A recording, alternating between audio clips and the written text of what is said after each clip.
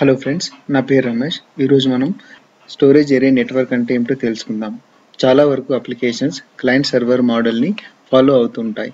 అలాంటప్పుడు ప్రతి సర్వర్కి hard disk dedicated అయి ఉంటే అలా డెడికేటెడ్ హార్డ్ డిస్క్ ఉన్నప్పుడు హార్డ్ డిస్క్ పాడైతే డేటా మొత్తం నాశనం అయిపోతుంది కానీ కంపెనీస్కి డాటా చాలా ముఖ్యం. డాటా లాస్ అయిపోకుండా ఉండడానికి డేటా కాపీస్ని మెయింటైన్ చేయాలి. అవి సింగిల్ డిస్క్తో సాధ్యం కాదు. ఇప్పుడు మనం ఇమేజ్ చూస్తే సర్వర్ ఒక డెడికేటెడ్ హార్డ్ డిస్క్ కనెక్ట్ అయింది. కానీ చాలా క్లయింట్స్ ఆ సర్వర్నే వాడుకుంటున్నాయి. అవి క్లయింట్స్ చాలా డేటా జనరేట్ చేశారనుకోండి హార్డ్ డిస్క్ ఫుల్ అయిపోతుంది. సో ఈవెంతా మిగతా సర్వర్లో హార్డ్ డిస్క్ క్యాపబుల్ ఉన్న యూటిలైజ్ చేసుకోలేకపోతుంది. సో అలాంటప్పుడు వీళ్ళు ఏం చేస్తారంటే డిస్క్ను సర్వర్స్ని సపరేట్గా చేసి సపరేట్ నెట్ నెట్వర్క్లో పెడతారనమాట దాన్నే స్టోరేజ్ ఏరియా నెట్వర్క్ అంటారు.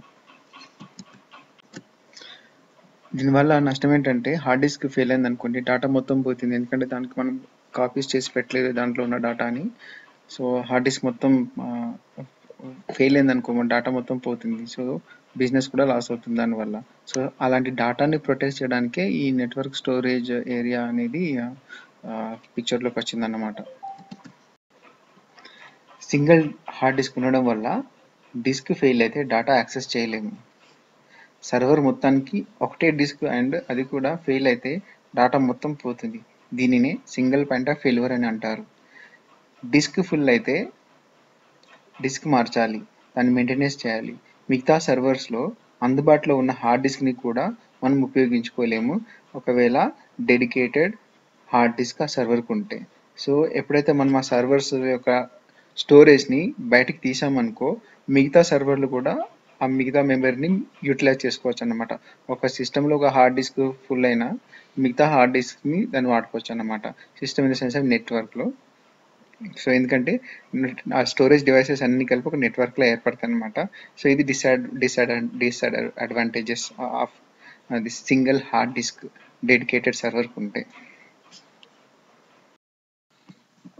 మనం ముందు చెప్పుకున్న డిసడ్వాంటేజెస్ని ఓవర్కమ్ చేయడానికి లైక్ డేటా మల్టిపుల్ కాపీస్ ఎలా చేయడం డిసడ్వాంటేజ్ ఓవర్కమ్ చేయడానికి రేడ్ అనేది వాడతారనమాట రేడ్ అనేది గ్రూప్ ఆఫ్ స్టోరేజ్ డివైసెస్ని కంట్రోల్ చేస్తుంది. ఇది సేమ్ డేటాని మల్టిపుల్ కాపీస్గా చేసి మల్టిపుల్ డిస్క్లో సేవ్ చేస్తుంది. దీనివల్ల డేటా ఎప్పుడు లాస్ అవ్వదు. ఇది స్టోరేజ్ ఏరియా ఇది స్టోరేజ్ ఏరియా నెట్వర్క్ ఇది ఒక హై స్పీడ్ డెడికేటెడ్ నెట్వర్క్ ఇందులో స్టోరేజ్ డివైసెస్ సపరేట్ నెట్వర్క్లో కనెక్ట్ ఉంటాయి. మీరు ఎగ్జాంపుల్ ఈ ఫిగర్లో చూసారనుకోండి. కుడి సైడ్ గ్రీన్ లైన్తో డార్క్ గ్రీన్ లైన్తో కనెక్టెడ్ అయి ఉన్నాయి. రైట్ సైడ్ అందులో క్యాబినెట్ చూసారనుకోండి మీరు అందులో హార్డ్ డిస్క్ ఉంటాయి అనమాట ఈ నెట్వర్క్ అనేది కేవలం స్టోరేజ్ డివైసెస్తో ఫామ్ అవుతుంది. దీన్ని స్టోరేజ్ ఏరియా నెట్వర్క్ అంటారు. మీరు ఎడమ ఎడమ వైపు చూసారనుకోండి అందులో ఎల్లో లైన్స్ ఉన్నాయి కదా.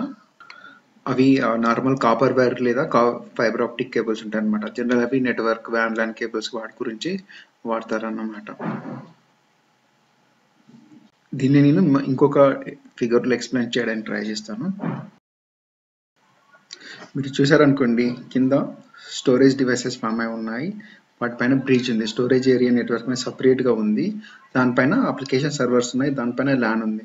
మీరు వీటికి వీటికి కమ్యూనికేషన్ చూసుకున్నారు అనుకోండి. స్టోరేజ్ నెట్వర్క్ ఏరియాలో హై స్పీడ్ రూటర్స్ కానీ బ్రిడ్జెస్ ఉంటాయి. Plus fibre optic communication and i SCSI internet small computer interface వాటితో కమ్యూనికేషన్ జరుగుతుంది అనమాట ఈ స్టోరేజ్ డివైసెస్ని స్టోరేజ్ నెట్వర్క్ని అప్లికేషన్ సర్వర్స్ వాడుకుంటాయి. దానిపైన ల్యాన్ డిఫరెంట్ డిఫరెంట్ క్లయింట్స్ వాడుకుంటారు అనమాట బేసికల్గా ఇది high speed routers and bridges nothing but RAID controller అవన్నీ ఉంటాయి. అందులో బ్రిడ్జెస్ స్విచ్చెస్ అన్నీ ఉంటాయి. బేసికల్గా ఈ స్టోరేజ్ డివైస్ని రేడ్ కంట్రోలర్ కంట్రోల్ చేస్తుంది అనమాట ఏ డిస్క్లో రైట్ చేయాలి ఏ ఎన్ని కాపీస్ చేయాలి ఒక కాపీ ఏ డిస్క్లో పెట్టాలి ఇంకో కాపీ ఏ డిస్క్లో పెట్టాలి యాక్చువల్లీ ఎందులో పెట్టాలి కాపీస్ చేస్తుంది అనమాట సో దీనివల్ల బెనిఫిట్ ఏంటంటే రేపు ఏదైనా ఒక డిస్క్ పాడైనా ఇంకో డిస్క్లో దాని కాపీ ఉంటుంది అనమాట దీంట్లో డెడికేటెడ్ హార్డ్ డిస్క్ ఉండకపోవడం వల్ల అన్ని అన్ని సర్వర్స్ ఈ స్టోరేజ్ డివైస్ని వాడుకోవచ్చు అనమాట ఇప్పుడు ఏదైనా హార్డ్ డిస్క్ పాడని ఏదైనా మెయింటెనెన్స్ ఈజీగా ఉంటుంది. సర్వర్ ఎప్పుడు అవైలబుల్స్ ఉంటాయి. ఒక డిస్క్ పాడితే దాన్ని దాన్ని చేంజ్ దాన్ని రిప్లేస్ చేసి మిగతా వాడుకోవచ్చు అనమాట ఇది బేసికల్గా ల్యాన్ వ్యాన్ కాన్సెప్ట్ లాగానే ఉంటుంది. ఒక నెట్వర్క్ లాగా స్టోరేజ్ డివైసెస్ ఇంటర్ కనెక్టెడ్ అయి ఉంటాయి. అవి ఎలా కమ్యూనికేషన్ అయ్యో చూద్దాం ఒక దానికొకటి అవి సర్వర్స్ టు సర్వర్స్ కమ్యూనికేట్ అవుతాయి స్టోరేజ్ టు స్టోరేజ్ కమ్యూనికేషన్ చేసుకోగలుగుతాయి సర్వర్స్ టు స్టోరేజ్ కూడా కమ్యూనికేట్ అవుతాయి అనమాట రీడ్ రైట్ ఆపరేషన్ జరుగుతూ ఉంటాయి. దీని అడ్వాంటేజెస్ ఏంటో చూద్దాం ఇప్పుడు. ఫస్ట్ ఇది అవైలబిలిటీ ఇది కనెక్టెడ్ స్టోరేజ్ డివైసెస్ ఉండడం వల్ల ఒక డిస్క్ పైన ఇంకో డిస్క్తో వాడుకోవచ్చు కాబట్టి ఇప్పుడు అవైలబుల్ ఉంటుంది. పర్ఫార్మెన్స్ ఏంటంటే అన్ని డిస్క్ల పైన లోడ్ పడకుండా ఈక్వల్గా పర్ఫార్మెన్స్ ఇంప్రూవ్ అదనమాట. ఒకే ఒక డిస్క్ ఉంటే ఒకే దానిపైన ఫుల్ లోడ్ పడుతుంది. దాన్ని అవాయిడ్ ఈ మల్టిపుల్ డిస్క్ వల్ల అవాయిడ్ చేస్తాం అనమాట మెయింటెనెన్స్ అండ్ మేనేజ్మెంట్ ఈజీగా ఉంటుంది. డేటా ట్రాన్స్ఫర్ ఈజీగా చేస్తాం. రిమోట్ లొకేషన్లో కూడా దీన్ని మూవ్ చేసుకెళ్ళచ్చు. ఇలాంటి స్టోరేజ్ ఏరియా నెట్వర్క్ని చాలా వరకు ఎంటర్ప్రైజ్ అప్లికేషన్స్ వాడతాయి.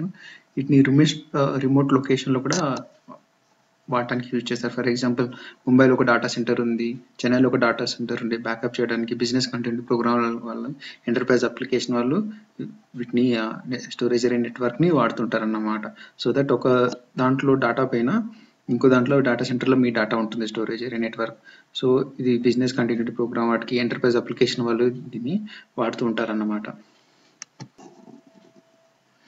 సో ఇదండి storage area network thanks for watching this video have an nice day bye